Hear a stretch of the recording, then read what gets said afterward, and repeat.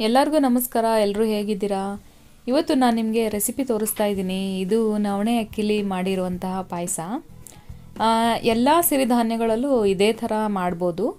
ಇದು ತುಂಬ ಸಿಂಪಲಾದ ರೆಸಿಪಿ, ಹಾಗೆ ಆರೋಗ್ಯಕ್ಕೆ ತುಂಬ ಒಳ್ಳೆಯದು ಇದಕ್ಕೆ ನಾನು ನವಣೆ ಅಕ್ಕಿನ ತೊಗೊಂಡಿದ್ದೀನಿ. ಮುಕ್ಕಾಲು ಬಟ್ಲು ಅಷ್ಟೇ ತೊಗೊಂಡಿರೋದು. ನಮ್ಮ ಮನೇಲಿ ಇಬ್ಬರೇ ಇರೋದ್ರಿಂದ ಸ್ವಲ್ಪ ಮಾಡ್ತಾಯಿದ್ದೀನಿ ಮೊದಲು ಇದನ್ನು ಹುರ್ಕೋಬೇಕಾಗುತ್ತೆ ನಾವು.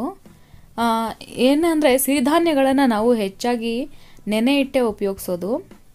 ನೆನೆಸ್ಬಿಟ್ಟೇನು ಮಾಡಬೇಕಾಗುತ್ತೆ. ಈಗ ನಾನು ಏನು ಮಾಡ್ತಾಯಿದ್ದೀನಿ ಅಂದರೆ ಹುರಿದು ಇದನ್ನು ಆರಿಡ್ತಾ ಇದ್ದೀನಿ. ಇದು ಆರಿದ್ಮೇಲೆ ನಾನು ಒನ್ ಅವರ್ ನೆನೆಸ್ಕೊತೀನಿ. ನೋಡಿ, ಚೆನ್ನಾಗಿ ಆರಿದೆ ಈಗ. ಇದನ್ನು ನಾನು ನೆನೆ ಇಡ್ತೀನಿ.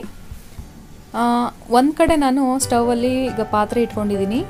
ಅಕ್ಕಿನ ನೆನೆ ಇಟ್ಕೊಂಡಿದ್ನಲ್ಲ, ಅದನ್ನು ಹಾಕ್ತಾ ಇದ್ದೀನಿ ಅಕ್ಕಿನ ನಾನು ಒನ್ ಅವರ್ ನೆನೆ ಇಟ್ಕೊಂಡಿದ್ದೀನಿ. ಮೊದಲು ಹುರಿದಾದ್ಮೇಲೆ ಕ್ಲೀನ್ ಮಾಡಿ ಒನ್ ಅವರ್ ನೆನೆ ಇಟ್ಕೋಬೇಕು. ಆಮೇಲೆ ಪಾಯಸ ಮಾಡೋಕ್ಕೆ ಸ್ಟಾರ್ಟ್ ಮಾಡಿರೋದು. ಯಾವುದೇ ಕಾರಣಕ್ಕೂ ಸಿರಿಧಾನ್ಯನ ನೆನೆಸ್ದೇ ಮಾಡೋಕ್ಕೆ ಹೋಗಬೇಡಿ.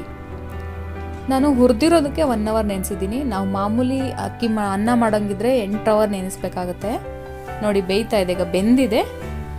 ಇದಕ್ಕೆ ನಾನು ಸ್ವಲ್ಪ ಕಾಯಿ ತುರಿ ತೊಗೊಂಡಿದ್ದೀನಿ. ಅಂದರೆ ಒಂದು ಬೌಲು ಕಾಯಿ ತುರಿ ತೊಗೊಂಡಿದ್ದೀನಿ. ಇದಕ್ಕೆ ಒಂದು ಟೀ ಚಮಚ ಅಷ್ಟು ಸ್ವಲ್ಪ ಏಲಕ್ಕಿ ಪುಡಿ ಇದಕ್ಕೆ ಹಾಕ್ಕೊಂಡು ನಾನು ರುಬ್ಕೊಂಬರ್ತೀನಿ. ನಾವು ಅಕ್ಕಿ ತೊಗೊಂಡ್ವಲ್ಲ, ಅಷ್ಟೇ ಕಾಯಿ ತುರಿ ತೊಗೊಂಡಿದ್ದೀನಿ ಇದಕ್ಕೆ. ಹಾಗೆ ಅಷ್ಟೇ ಪ್ರಮಾಣದ ಬೆಲ್ಲ ತೊಗೋಬೇಕು. ನೋಡಿ ರುಬ್ಬಿದ್ದೀನಿ. ರುಬ್ಬಿರೋದನ್ನ ಈಗ ಹಾಕ್ತಾ ಇದ್ದೀನಿ. ಈಗ ಅಕ್ಕಿ ತೊಂಬತ್ತು ಪರ್ಸೆಂಟ್ ಬೆಂದಿದೆ. ನಾನು ರುಬ್ಬಿರೋದನ್ನ ಹಾಕಿ ಈಗ ಮಿಕ್ಸ್ ಮಾಡ್ತಾ ಇದ್ದೀನಿ. ಇನ್ನೂ ಈ ಹಂತದಲ್ಲಿ ನಾವು ಬೆಲ್ಲ ಸೇರಿಸಿಲ್ಲ ಇದಕ್ಕೆ. ನಾನು ಇದಕ್ಕೆ ಆರ್ಗ್ಯಾನಿಕ್ ಬೆಲ್ಲ ಉಪಯೋಗಿಸ್ಕೊತಾ ಇದ್ದೀನಿ. ಬೆಲ್ಲನ ತುರಿದು ಇಟ್ಕೊಂಡಿದ್ದೀನಿ. ಇದರಲ್ಲಿ ಯಾವುದೇ ಇಂಪ್ಯೂರಿಟೀಸ್ ಇಲ್ಲ. ಅದಕ್ಕೆ ನಾನು ಡೈರೆಕ್ಟಾಗಿ ತುರಿದು ಹಾಕ್ಕೊತಾ ಇದ್ದೀನಿ.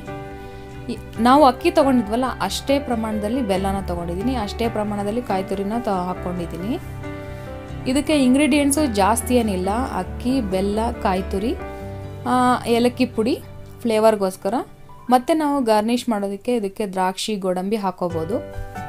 ನೋಡಿ, ಈಗ ಪಾಯಸ ರೆಡಿ ಆಗ್ತಾ ಬಂದಿದೆ. ಇದಕ್ಕೆ ನಾನು ತುಪ್ಪದಲ್ಲಿ ಈ ಗೋಡಂಬಿ ದ್ರಾಕ್ಷಿನ ಹುರ್ಕೋತೀನಿ. ನೋಡಿದಿರಲ್ಲ ಇಲ್ಲಿ ತಗೊಂಡಿದ್ದೀನಿ.